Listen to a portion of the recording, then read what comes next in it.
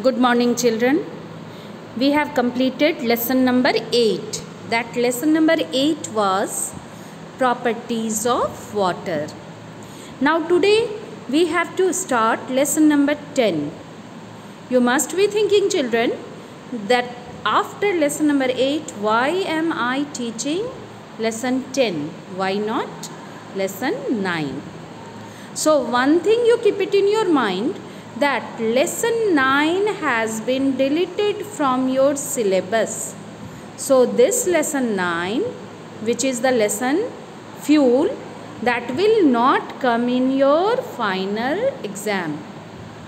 It is clear to all? Lesson 9, name of the lesson is fuel, will not come in your final exam and that's why we will not read that lesson and now after lesson 8 I am starting lesson 10 and the name of the lesson is air. Air you all must be knowing everywhere air is present. Without air can we live? we cannot live without air. Air is present all around us but we can feel it but cannot see it. When the strong wind blows, you must have seen the shaking of trees, the curtains, the calendars. We can feel it, but we cannot see it because pure air is colorless, odorless, tasteless. No color is there, no smell is there, no taste is there. And we feel air when? When it blows. Now in the atmosphere, without atmosphere children, no life is possible. And in the atmosphere, various types of gases are present. In this diagram you see composition of air in the atmosphere which gases are present. Your today's homework is you have to draw this diagram composition of air in your science notebook and then you will submit it on our WhatsApp group. In this diagram children you see the maximum amount of which gas is there? Nitrogen. How much percentage is? 79%. It is 78% in fact means in the atmosphere how much percentage of nitrogen gas is present? 78% then second gas which is very important for us oxygen. Without this gas we cannot live. And this gas is present in how much percentage? 21% now you just add children 78 and 21 it comes 99% then rest all other gases are present in a very small amount that is 1% and in other gases which which gases are there? Carbon dioxide water vapor is also there helium ozone hydrogen these are the gases. Other gases besides nitrogen and oxygen these gases are present in atmosphere. So, which which gases are children present in our atmosphere? Nitrogen. How much percentage? 78%. Oxygen. How much percentage? 21%. And other gases? Carbon dioxide, water vapor, helium, ozone, hydrogen, they are present in 1%. Air is an invisible mixture of gases. We cannot see air. It is not visible. It is made up mainly of nitrogen and oxygen that we know 78% nitrogen and 21% oxygen and these 78 plus 21 it becomes 99%. Means in the atmosphere, 99% of gases is composed with nitrogen and oxygen and other gases are present in a very small amount that is 1%. Our atmosphere also contains water vapor and small amounts of other gases and in other gases which which gases are there? Carbon dioxide, ozone, helium and hydrogen. Now children during rainy season or in our simple term also many time you must have heard the name of humidity. H U M I D I T Y humidity. Do you know what is humidity children? The amount of water vapor present in air determines the humidity of air. Now air is very important for us. It is important or not? Of course, it is very important for us. You just close your nose and mouth even for 10 20 seconds. You must have observed that we cannot feel comfortable because if we don't inhale oxygen gas, we don't, if we don't exhale carbon dioxide gas, then we cannot live, we cannot survive. Air is important for us because we need oxygen gas to live. And this oxygen gas is very important for us for our survival. And air is important for animals also as well as plants also there is a balance maintained in the atmosphere. We breathe in oxygen gas we breathe out which gas carbon dioxide gas and plants breathe in which gas carbon dioxide gas and plant breathe out which gas oxygen gas. So children you see what we breathe in that is being breathed out by plants means plants exhale carbon dioxide that we inhale and we exhale uh, carbon dioxide that plants inhale means there is a continuous movement of oxygen and carbon dioxide gas between plants and animals. That's why plants are very necessary for us because they provide us which gas? Oxygen gas. Oxygen gas is very necessary for our survival. During this corona period also children you must have heard that many patients are in need of oxygen gas. They lacked oxygen, they lack oxygen. It means oxygen gas is very important for us and it is being provided by plants. That's why we should not cut plants. One joke is there children when coronavirus was spreading in our country that time one person one very old person was being admitted in the hospital and after 10 days uh, living in staying in a hospital when he came out then the doctors they gave him a huge bill.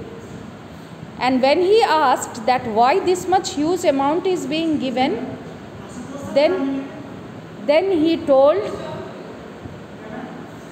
when he was being asked, he asked to the doctors that why this much huge amount is being paid for oxygen gas is uh, how this much why this much huge amount is in my bill then the doctors told this is the bill of oxygen gas which was given to you. Means in corona patient we know those who are very severely ill they need oxygen gas. And that's why the bill of that old person was very high.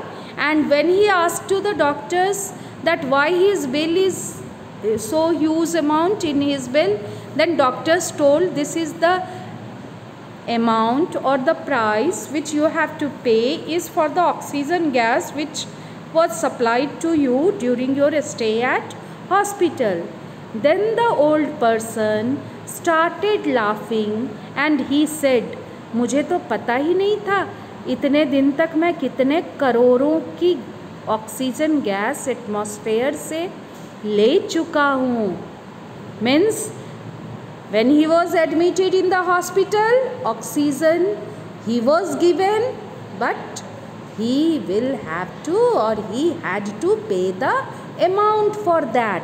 But if we plant more and more trees, then oxygen gas we will get from where?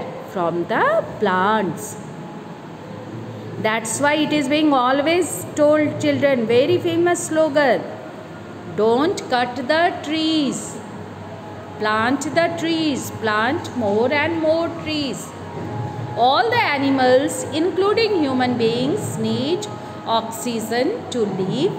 They all need this oxygen every minute and second of their life. This process of breathing continues in your second lesson in human breathing system of your science science book in this class only you have read that the process of breathing continues without a stop even when we sleep because if it stops then we will die they take oxygen from air through the process of breathing. Plants, uh, human beings and animals take oxygen from air through the process of breathing. The oxygen present in air is used to produce energy from the food that is eaten. In this process, carbon dioxide gets formed which is breathed out. And oxygen is also required for burning. One activity is here. You see in this activity it will help you to understand the importance of air in our life with the help of any elder person you can do this activity children first you just lighten up one candle what you will observe candle will start burning. But then you close this candle, cover this candle with a glass tumbler. Then what you will find children? You will find that after few seconds the candle stops burning. What does it show? that when we cover the candle so that it cannot get oxygen gas of the atmosphere we cover the candle with the glass then the candle stops burning it means what oxygen gas is needed for burning if oxygen will not be there then burning fire will not be there and this fire is very important for us we cook our food and many other important things are also based on this. So this activity children you can observe but with the help of your mother or father or elder brother and sister. Again I am repeating don't do this activity alone. If any elder person is ready to help you at your home then you can do this activity. You lighten up one candle then you cover the candle with a glass. You can notice that after few seconds candle stops burning. It proves that oxygen is required for burning. Then here one another activity is there take two potted plants. Small small pots plants are being kept that you can take. Add water to both the plants and keep them in sunlight. Cover one of the plants with a thin transparent plastic sheet. Means both the plant pots you keep it under the sunlight but one plant you cover it with thin plastic sheet. After some days what you will observe children the plant which is kept covered with plastic sheet will shrink up and dry out after some days. But the other plants will remain healthy. Why? Can you imagine? Because the plant which was covered with the plastic sheet was not able to get air from the atmosphere and that's why it dried out after some days. So children, here we have seen plants also need gas, air to survive and we human beings also need gases to survive. And this is because plants need air to live. They use the carbon dioxide present in air to prepare their own food by a process known as photosynthesis. About photosynthesis in lesson number uh, 2 I think uh, in plants. In lesson plants you have read. What is photosynthesis?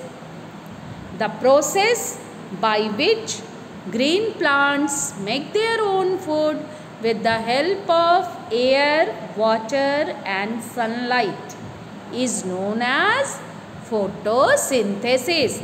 And which air plants use in the process of photosynthesis?